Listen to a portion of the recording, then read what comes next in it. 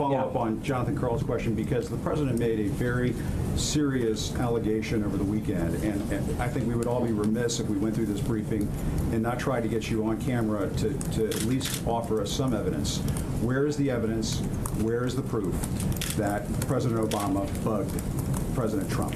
Well, I, I answered this question yesterday on camera on your air. So just so we're clear, um, I know this is now will be twice, uh, but I think I made it clear yesterday. But since yesterday, since yesterday, Nothing has changed. proof? No, any no, it's not a question of it's not a question of new proof or less proof or whatever. It's the answer is the same, and I think that which is that I think that that there is a concern about what happened in the 2016 election. The House and Senate Intelligence Committees have the staff and the capabilities uh, and the processes in place to look at this in a way that's objective, and that's where it should be done. And frankly, if you've seen the response from, especially on the on the House side, but as well as the Senate, they they welcome this, and so let's let the Senate do their job and the House, excuse me, Intelligence Committees, and then report back to the American people. Yeah, Will the president withdraw the accusation? Does he have any? any- Why would he withdraw it until it's, I mean, and, until it's adjudicated? That's what we're asking, is for them to look at this and see if there is. No regrets is it- him no, about not. raising this Absolutely not.